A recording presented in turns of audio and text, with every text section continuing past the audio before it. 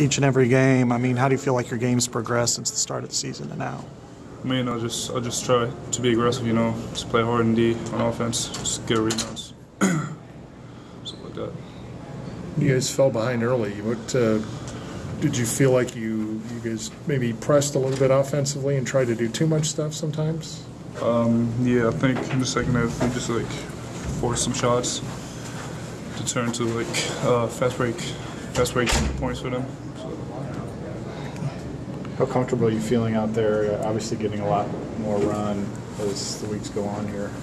uh, I definitely feel comfortable, and uh, it's definitely good to, to get more minutes. What do you feel like has improved the most of your for your game since coming on campus in the fall? Uh, I think my shot.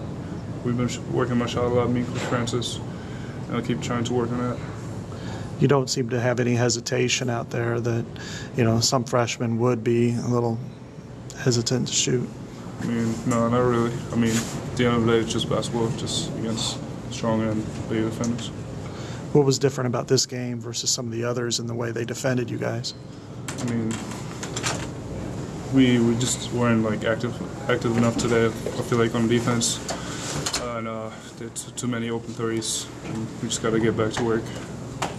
What's been the feedback from Coach McCaffery? I mean, you had uh, five big points against Minnesota, five against Ohio State. And obviously, he gave you a lot of time here in the first half.